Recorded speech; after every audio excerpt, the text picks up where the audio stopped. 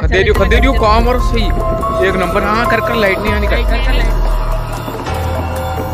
और भी भी आगली पर बदे आगली है ना बदे बड़े बड़े हाँ बीज के।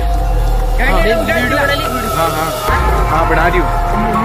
रुक जा रुक जा रुक जा रुक जा देख माँ की कहीं मार दे। हाँ उजाड़ो कर।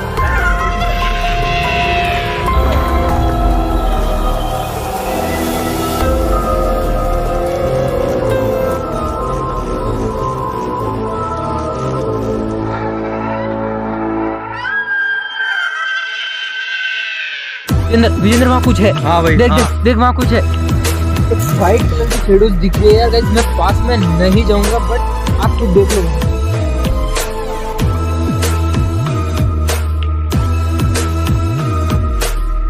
हम्म। तो गाइज़ एक बार फिर से आ गया हूँ एक हॉन्टेड लोकेशन पर। उस और उस हॉन्टेड लोकेशन को आप बहुत ही अच्छी तरीके से जानते हैं। जो दिलराज भाई ने वीडियो शूट की थी सत्रह पचपन वाली जगह। नाम लेते ही गाइज़ मेरा पूरा शरीर थर्रा रहा है और मेरे जो रोंगटे पूरी तरीके से खड़े हो चुके हैं। बोलने में भी दिक्कत आ रही है। बट गाइज़ हॉन्टेड लोकेशन पर लेके आए। एक क्लिप देखो आप, पहले ये वाली।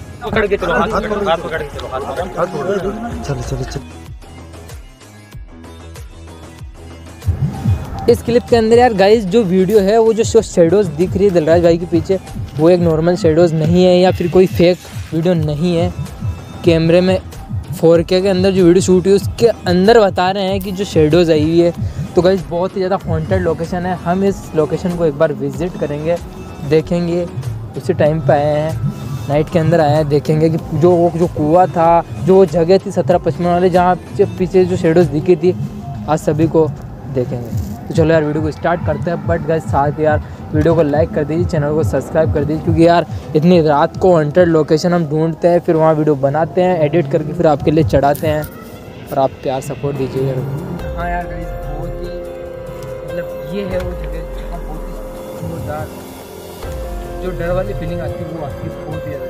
और जो उधर की साइड है, वो है जो सत्रह पचपन वाला जो सीन था।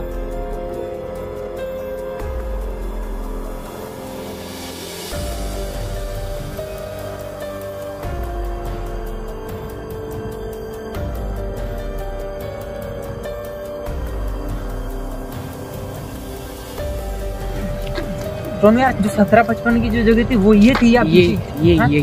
तो ये वो जगह थी यार जहाँ हल्के से शेडोज यार हमें दिखाई दी थी।